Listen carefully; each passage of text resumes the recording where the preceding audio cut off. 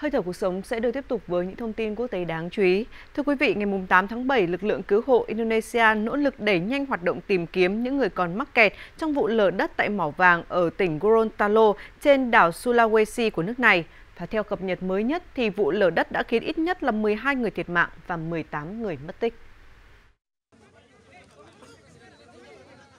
Vụ lở đất xảy ra tại mỏ vàng ở quận Suwawa thuộc tỉnh Gorontalo ngày 7 tháng 7 sau những cơn mưa xối xả.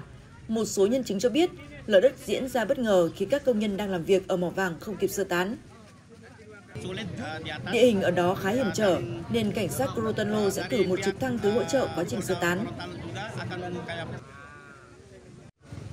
Dự kiến công tác cứu hộ sẽ được đẩy mạnh với sự tham gia của quân đội, cơ quan tìm kiếm và cứu nạn quốc gia Indonesia, cơ quan quản lý thiên tai quốc gia Indonesia cùng các phương tiện cứu hộ, máy xúc tiên tiến hơn.